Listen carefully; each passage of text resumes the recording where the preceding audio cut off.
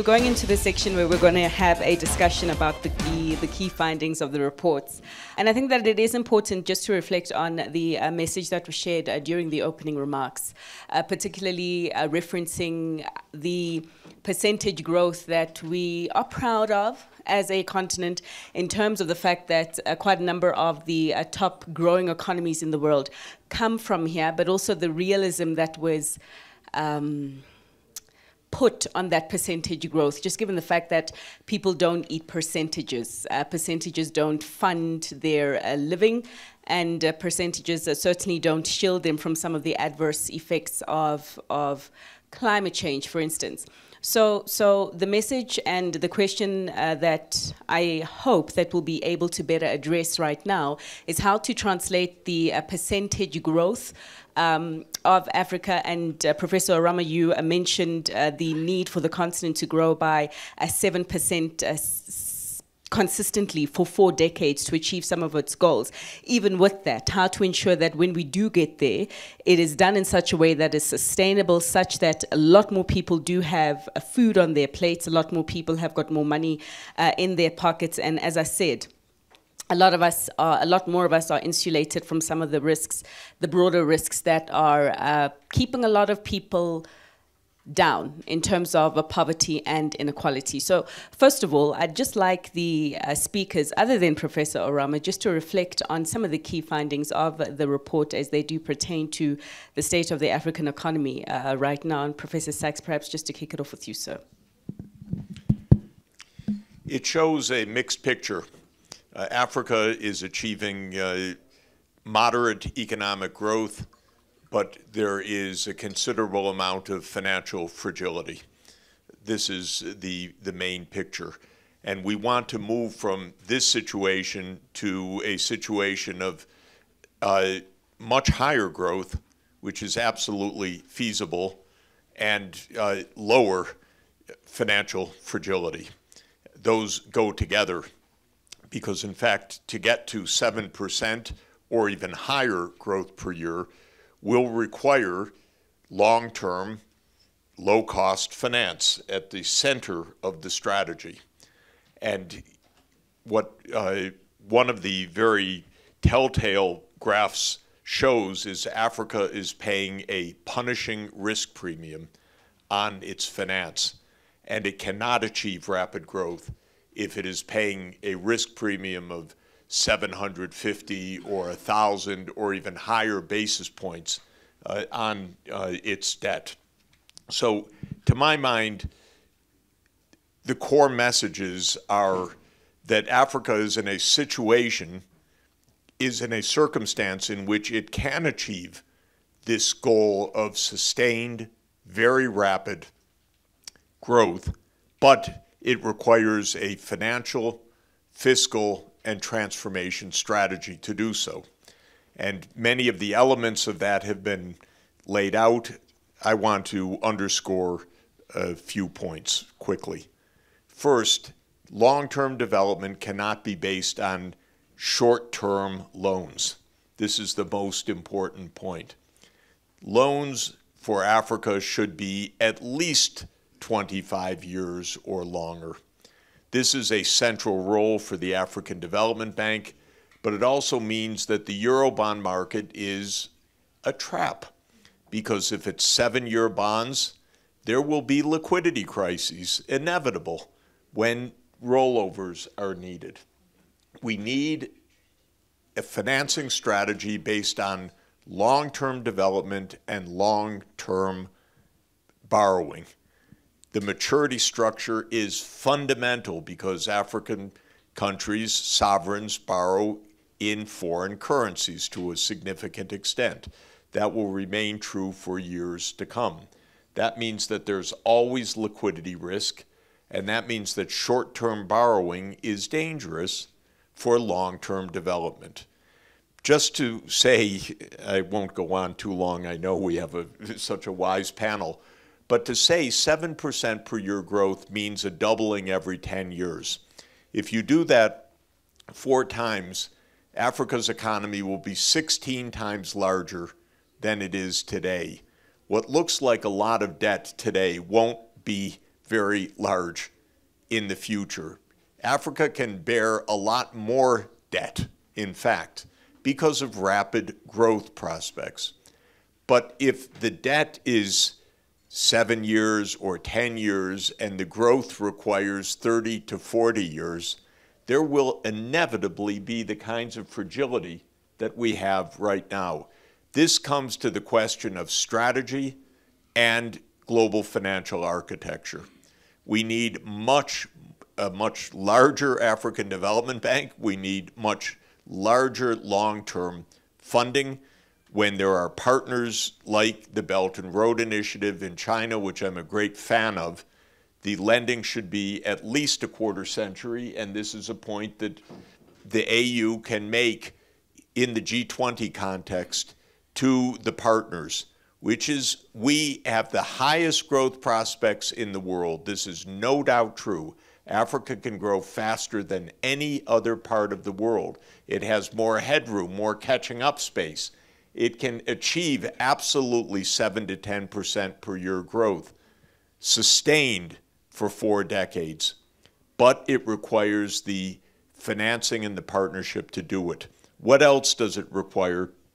It requires the following a very strong integration at the AU scale.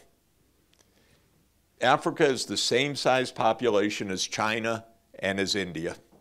Those are each one country. Africa's 55 countries. Africa has to act, though, like one economy. This is extremely important because that scale will be the breakthrough. That's to the advantage of every single one of the 55 countries joined together. Second, that means cross border infrastructure for power, for fiber, for transport is absolutely essential. This is a great continent and it needs a great continental infrastructure. This is absolutely key.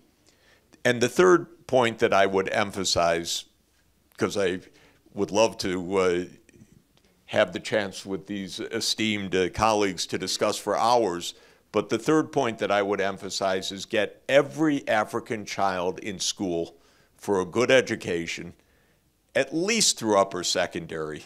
Right now, the completion rate of upper secondary is only around 30%. It needs to be 100%. That's a, basically a financial barrier, by the way. I think every leader here wants universal education but can't afford it. And this is why finance is so essential. But don't finance education with a 10 year loan, the kids will still be in 10th grade. Finance education with a 40 year loan to give them the chance to graduate, join the workforce, be the skilled workers of the future, and 40 years from now, it will be easy to repay. Education has an internal rate of return of at least 20% per annum. But it takes a long time. You can't hurry it. It's one grade at a time. So long-term finance, get every child in school, give them the fiber, give them the uh, digital, give them the basic infrastructure. Africa will be the world's booming, fast-growing region of the world for decades.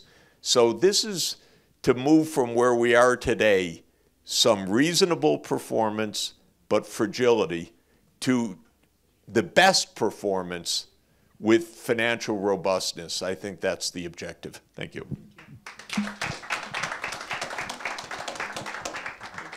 Uh, and Prof, a really interesting uh, comment that you do make in reference to the euro bond market being a trap. Um, just given the, uh, I think the resumption of players entering that bond market that we have seen in the recent while, uh, particularly since the advent of the pandemic. But I want to pick up on a point that you made around scale and uh, Africa acting uh, more as one. And uh, Ambassador Muchanga, I want to pick it up uh, with you.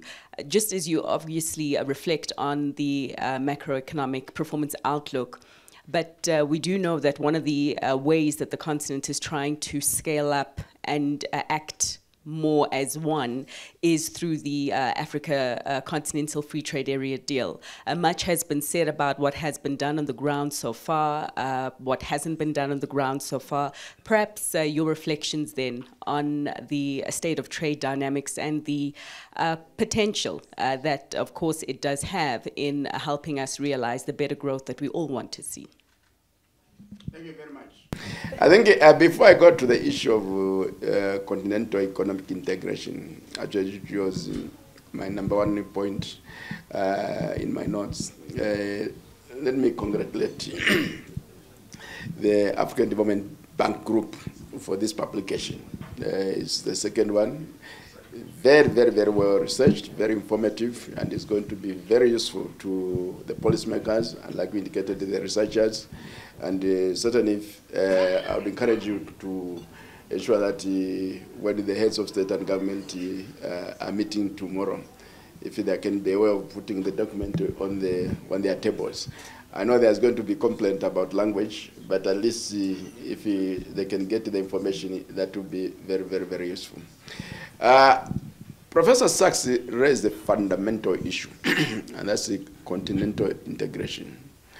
I, I always say that uh, the long-term future of Africa lies in the accelerated and deeper uh, economic integration. Because uh, the small economies, the small economies that we have really do not make us very, very competitive in the global markets. And the situation is getting worse now. Because uh, if uh, any one of us wants to export, for example, if you want to export to, uh, to Europe, you are going to uh, face the cross-border adjustment mechanism.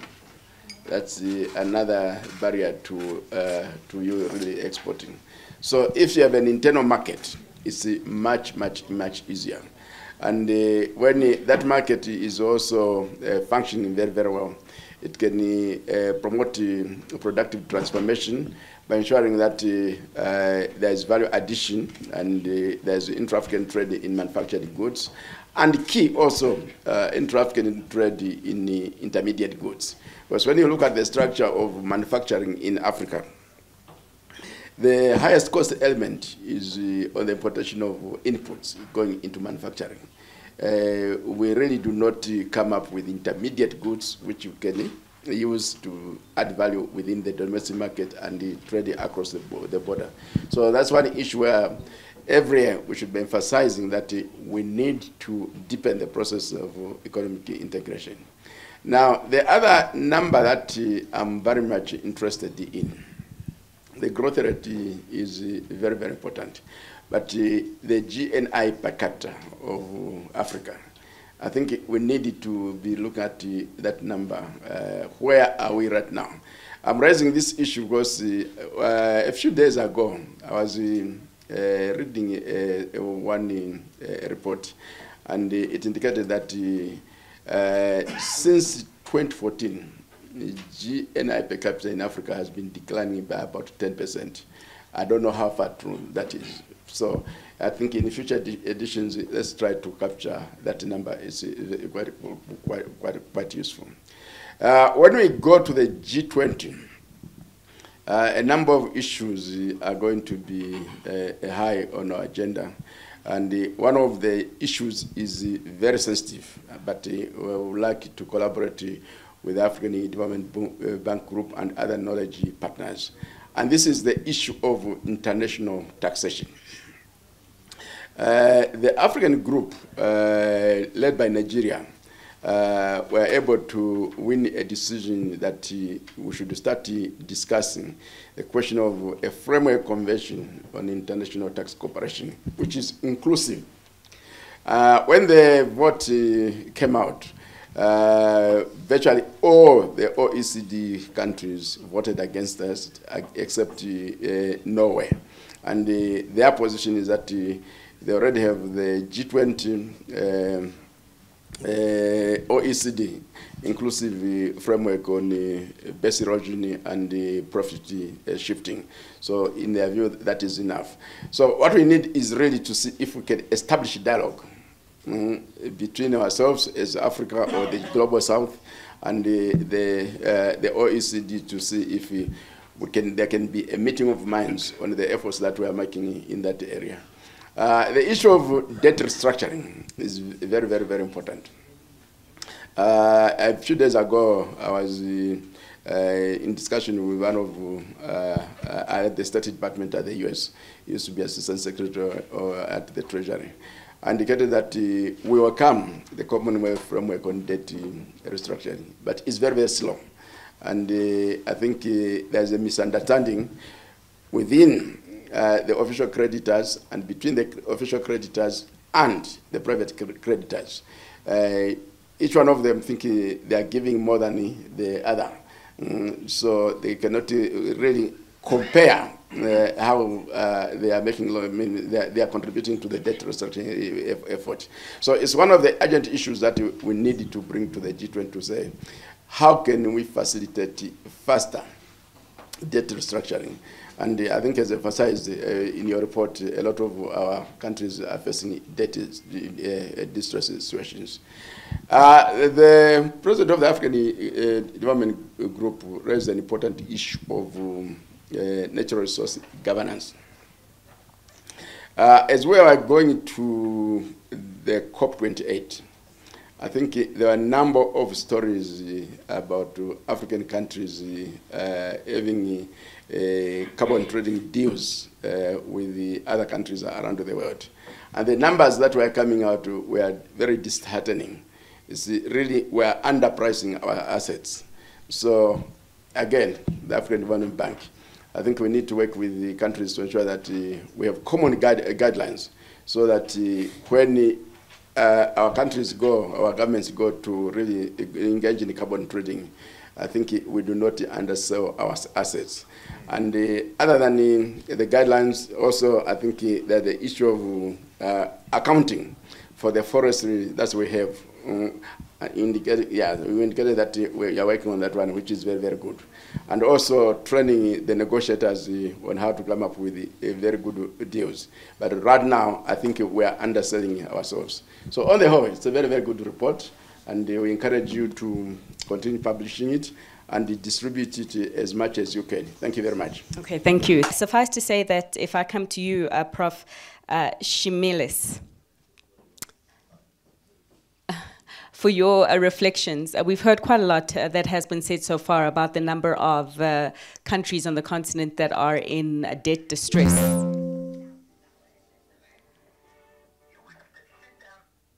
Okay, perfect. That are in uh, debt distress at this present moment in time. We know that uh, the risks of defaults are high, and there's been there has been a few casualties in the recent past. Your reflections, uh, sir, on uh, the uh, topic of hand today, and maybe even interventions on the issue around debt distress right now and uh, defaults on the continent. Thank you very much. Let me also um, express my uh, appreciation to the African Development Bank uh, for inviting me to this wonderful event. Um, and good to be in the company of friends. Um, I have been uh, in this business also with them for a long time. So uh, the African Economic Outlook, as uh, most of you know, has brought out the African voice in a very, very uh, telling way. So I would like to thank uh, Professor Kevin Urama, who is the chief economist, um, leading this pack um, and the preparation that it takes to come to this point is extremely, extremely laborious and, and requires a lot of expertise, uh, care, uh, particularly to inform, influence, and inspire African decision makers and tell their story as it is. Now that's what we heard today the resilience of African economies. We don't talk much about it. But most importantly, in the light of this major, unprecedented, and rapidly evolving global shocks, Africa is still there, maintaining a steady economic growth. Even macroeconomic stability is not as bad as it would have been, uh, given uh, uh, the kind of economic management we used to have a few decades back. So we are holding uh, very well. Actually, the 18% inflation rate. If you take out a few extremely uh, in high inflation uh, situation, countries like Ethiopia, for instance, and others, the average inflation rate in Africa is low. Now, when it comes to the uh, debt issue which you mentioned, uh, I think um, uh, already it has been uh, uh, mentioned in the report, but also uh, distinguished panelists and the president of the African Development Bank said that um, Africa is not a bankrupt economy. It's not uh, a continent that should have been suffering from liquidity challenges that we see today. But also some of the challenges I would like to apportion it to two um, causes. One is, of course, our own economic management. Um, uh, the other is the global financial system itself, uh, the way it's built and the way it functions doesn't serve the interests of Africa. This is well, well noted. I think as the commissioner uh, indicated, there are a lot of gaps and holes in, in, uh, in how to deal with the debt uh, situation we are in today. So let me just mention first, what does it mean even a country is in debt distress? You know, there are different ways of looking at it. If you look at Ethiopia, for instance, um, the debt to GDP ratio is uh, much, much lower than anywhere else. But the cost of borrowing, and of course, the returns to the debt investments that we have made, has not been aligned, unfortunately. So it has put us in a liquidity crunch. However, the country can revive and even be able to carry a large amount of debt to finance its investment needs. Ethiopia has been growing for instance, over 10% for uh, over a decade with an investment to GDP ratio of 40%, and unseen in many African countries, a saving rate that shoot up from merely 5% to 22% in 2019. So, so, you know, the country could transform itself uh, within a short space of time, for instance, as the president of uh, the bank mentioned, had the global financing mechanisms been favorable, like uh, the interest rate 9% charging uh, poor countries, what is the point? By credit agencies. Uh, the ratings are based on, not on needs, on vulnerabilities, but rather more ability to pay, which is defined from their prism. So uh, so, so I think uh, African voice have reached to a point where global financial architecture has to be significantly overhauled. It has to be inclusive. It has to be just, and it has to be also uh, gives room for uh, what we call global safety nets uh, during liquidity challenges. so, so I think what we are seeing debt distress today is artificially created by a system where uh, uh, the African potentials are not captured well. Thank you. Okay, thank you. a system.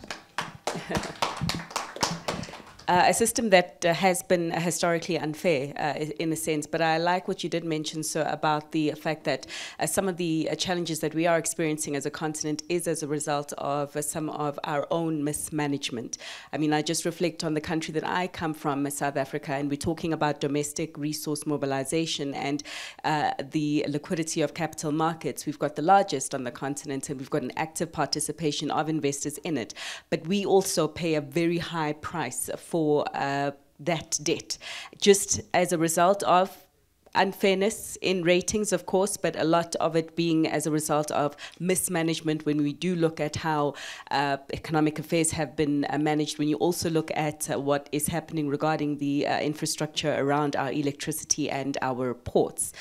With that said, I'd like to see if uh, we can get a Professor. Um, Minister of Finance, of course, um, Mthuli Ncube back uh, with us. Thanks very much. Uh, just to congratulate the African Development Bank for the report, uh, it is really on point. And I think they raise very pertinent issues about Africa's growth uh, prospects for 2024. And also I appreciate the contributions from Professor Sachs and, uh, and, and, and, Commissioner and uh, Professor uh, uh Bebe Schmeles. Uh, very important points that they raise indeed. Just looking at the growth pattern, I really agree that my region, which is Southern Africa, is, is really projected to grow the slowest. I want to highlight a factor here, which is that of climate change. That, for example, in Zimbabwe, we expect growth to slow down. Last year, we had a growth rate of 5.3%. In 2024, we expect a growth rate of 3.5%, likely due to climate shocks. So really, um, we expect a lower rainfall pattern is already showing. And, uh, you know, as they say that in our part of the world, a minister of finance is also a minister of agriculture. So I worry whether the rains are good or not. And it means I have to start worrying about, uh, you know, uh, grain imports. And, and that, that's, that's real. Um, so, so really, it means we have to invest more in climate proofing our agriculture if we want to, I think, uh, achieve sustainable economic growth. So, so, so climate proofing agriculture is a very critical issue in in, in you know ensuring sustained uh, economic growth going forward. Let me raise another issue regarding debt. Again, the, the, the debt situation is rather elevated. Uh, uh, you know, uh, we, we, we're aware a few countries, uh, you know, trying to restructure their debts, including ourselves. Uh, they, we, for example, we've got the G20 Common Framework, uh, and I believe that uh, well, was Zambia, Ghana, Ethiopia, Chad are on that, you know, program. And, and Zimbabwe is, has got a different program. We've started our own um, engagement with creditors to try to restructure our, our debt and get some debt relief it's really holding back economic growth uh, if, we, if, we, if we don't deal with it. And, and we're determined that uh, uh, this be, be, be, sorted, sorted out. So that, that process is, is continuing.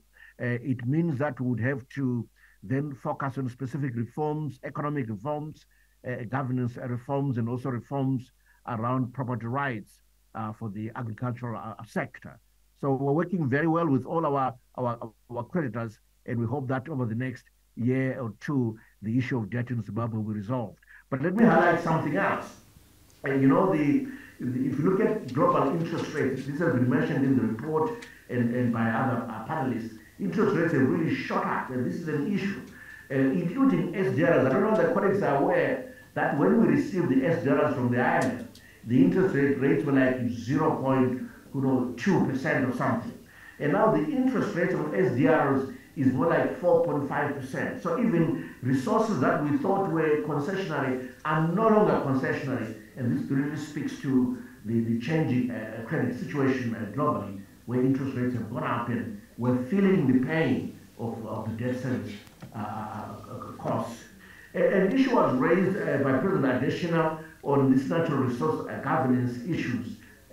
Must say Zimbabwe takes this very, very seriously and in the case of the lithium sector, we've actually, uh, you know, uh, passed a, a, law that really no exporter should export raw lithium, for example.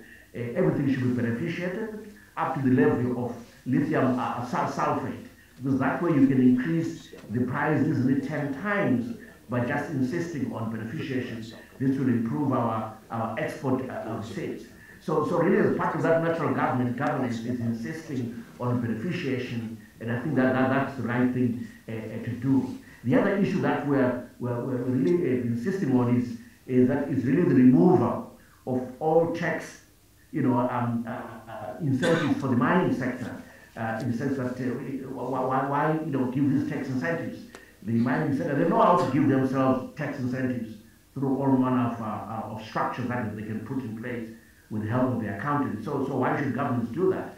But really we should be insisting on beneficiation. Uh, if they beneficiate, that's why we should be giving tax incentives at the beneficiation stage in terms of the of the value chain for these um, uh, for these uh, minerals.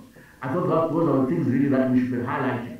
Now coming to the to the to the uh, uh, you know we are grappling with inflation here on the domestic front. Uh, I think we'll, we'll, deal with it successfully. we have tight monetary policy. Uh, and so, so it is partly the reason why growth will be slightly slower because of the tightness of liquidity. But it's necessary uh, for us to deal with inflation uh, and for us to be able to live uh, within our, our means. I must say that on the fiscal front in Zimbabwe, we've done well over the last five years. Uh, uh, I've run deficits that are no more than 1.5% of GDP. Uh, they've all averaged 1.5% of GDP. We've done very well. But it's, but it's because really made by running a, a, a, quasi cash budgeting system and making sure that we don't live above our means. And then on the current account, um, uh, I noticed that the report does say you know, that will come under some squeeze. That is true even for us. We have had a current account uh, surplus for the last five years, uh, but this year, 2024, will be the smallest uh, surplus. We're now down about 80 million US dollars from as high as uh, four, uh, 400 million US dollars five years ago. So, so really, the, the Washington report and what we're experiencing in Zimbabwe is very consistent, and I congratulate uh, you know, the, the ADB for, for this uh, uh, report. And let me stop here for now. Thank you very much. Okay, thank you. And uh, of course, thanks also to uh, Prof. Sachs, who uh, has to uh, step out at this present moment in time. And what I wanted to ask you is the situation around the hard landing and how much of a viability it is for uh, certain parts of the continent. Uh, you have made mention of the fact that inflation uh, continues to uh, shoot in the wrong direction in many parts of Africa. And what we have seen is a continued aggressive intervention from central bankers. Let me not call it aggressive because really they're trying to do all that they can do to bring this inflation down. But the question is at what cost and whether this inflation is what actually takes a few economies into. Um, into real recession or into a real hard landing on the uh, African continent. Your your uh, interventions on that, sir, and how much of a viability a hard landing is for Africa, and which parts of Africa right now? Before going into that, let me really, really appreciate uh, the inputs and comments that's been made by the panelists. Some of them traveling far and be, uh, beyond to be here. Professor Jeffrey Sachs and and uh, his beautiful wife, Sonia Sachs, traveled all the way from the US to be here. We really, really appreciate that. And uh, uh, Commissioner Muchanga, my brother, Abebe Shimeles, and President Adesina, yourself, really, really appreciate you. And all those who are connected online, I know we have hundreds of you, uh, if not thousands, connected, and those who are really here. Uh, the point you raise is one that is really sometimes touchy to discuss. Uh, managing inflationary pressures often comes with, you call it hard landing, but maybe austerity measures also for countries. Because we, that's why I hinted that in my presentation, we've seen um, the, the fiscal consolidation that happened in the United States, in the Eurozone in the past two years. It was tough for citizens. Energy prices went up, food prices went up. Many things really had significant issues there. But the difference is that then there is also fiscal policy measures that are put in place to cushion that impact on the most vulnerable, ensuring that while interest rates are, are going up, it doesn't crowd out um, small and medium, term, um, uh, medium uh, term, um, scale enterprises, and it doesn't also impact on the vulnerable households significantly. And many African countries are doing that in terms of providing um, you know, measures to cushion those impacts on countries. But the only thing I would say is that it's like pulling teeth. When you have a bad tooth, going to the dentist is often scary uh, because it's painful. But when the put, tooth is pulled out, you feel better later. So that short time, short term had or impacts of monetary and fiscal policies to address these challenges that we're having should not be a disincentive for not pulling out that tooth. Because if you leave the tooth, maybe it will affect more and more tooth, and then you have more problems um, going forward. So what I have seen in many African countries is actually a stellar job being done by central banks to try and manage inflation, actually using tools that in the, in the continent is not as effective as it should be because of several structural factors in the economy that we, we have discussed in the report. But then uh, we're seeing a lot of dividends in terms of like in, Af in the, the Western Africa region, the Nigerian government has been implementing a lot of policies, tough for citizens, but we're seeing projections of growth rebounding in 2024, 2025 because of those policies. So my encouragement to citizens and policymakers is to ensure that we have a measured approach and a balanced approach between monetary and fiscal policy to ensure that it doesn't create hard landing too much for citizens. Okay, I think that everything that has been or that is uh, that was required to be said has been said. But any parting shots from the uh, panel before I hand over to you, uh, Professor Urama, for the official close. My parting shot is that um, we've got very good partnership with the, the African Development Bank, and uh, certainly when we, we move together, we are stronger. So as African Union Commission, we'll always be on hand whenever we have to move together to say, let's move together. And uh, uh, as we go into the G20, the African Development Bank is going to be uh, one of our knowledge partners. So the, the, information that is coming out is going to be translated into policy proposals when we are making proposals at the level of the G20. So the work you are doing is very, very useful. Mm. And once again, congratulations. No, I think it's been a wonderful uh, discussion. Um, just to uh, follow up uh, on the inflation mm. Uh, hard landing you mentioned, um, just I was in Nairobi last year, living there throughout the COVID time, and nothing of uh, the sort happened until the war in Ukraine mm.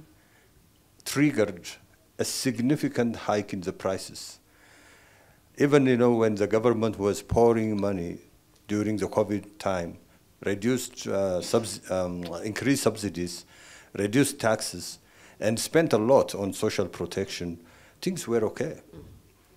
And then the war in Ukraine, uh, for various reasons, we don't need to go into it. Prices, inflation started to uh, rise, not only in Kenya, but in many, many African countries. So this is beyond their control. One is that, that fact. The other is the um, shock therapy that uh, Prof mentioned uh, may not have to be painful as well. So um, there are, uh, uh I think uh, the AU commissioner mentioned, uh, and which I indicated earlier again, the international financial architecture need to respond to this um, narrowing fiscal space in African countries at the time when where they were doing excellent job managing the economy from collapsing. So, so that is my parting point. Okay. Yeah. Okay. And uh, not to thank you, not to keep uh, anyone uh, in this room here uh, any further. Uh, um, uh, Ambassador, I get your point. you, many people are tired and do need to rejuvenate. but just perhaps if we can just get a closing remark from Professor um, Mthuli Ncube, the Minister of Finance over at Zimbabwe. so I'm not too sure how many hours of sleep that you had, and at the risk of being unpopular to you also, just to spare a minute or two more of your time. So just to let us know uh, what you'd like us to take away. I, I, I think really the AFDB should continue with the thought leadership drive to assist uh, us who are policymakers on the ground, assist us in making sure that we can support those critical growth drivers that will, uh, you know, continue to build resilience uh, that will enable us to build uh, the natural shock absorbers to be able to absorb all these shocks, whether it's price shocks or interest rate shocks, uh, uh, AFDB to continue doing this, doing this steady work. Uh, uh, for, for us here, the, the issue really is, is climate change, and that is a, a, a shock that is we, we, we need to respond to, and we have to invest in climate proofing uh, our agriculture, and I suspect uh, other countries in Southern Africa will be doing the same. Uh, here I can think of a country like Mozambique, which will be affected by similar issues, uh, you know, by Mozambique, but also Malawi, which can be affected by similar climate conditions. So this is a, a, a real. The other issue that's urgent for us is one of uh, debt restructuring. Uh, so really any uh, you know, continental driven you know um, ideas about you know, dealing with this issue rather than on a one-on-one basis would be helpful so that with a comprehensive, holistic approach on how Africa could be assisted in this debt restructuring drive. thank you very much. Uh, thank you, sir. And uh, just uh, on my uh, parting shot, uh, a big congratulations, obviously, for uh, yourselves, Professor Urama, the entire team that contributed to these insights.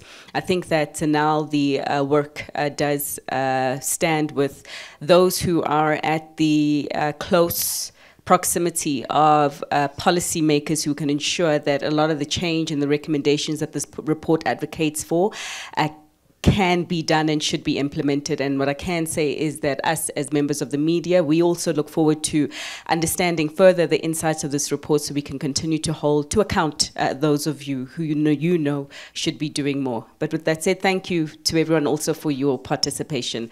It's a close.